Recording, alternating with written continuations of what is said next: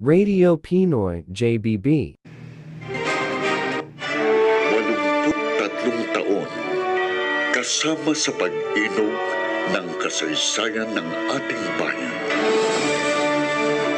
83 taong tuloy-tuloy sa pagbabalita, tuloy-tuloy sa pagtulong sa kapwa.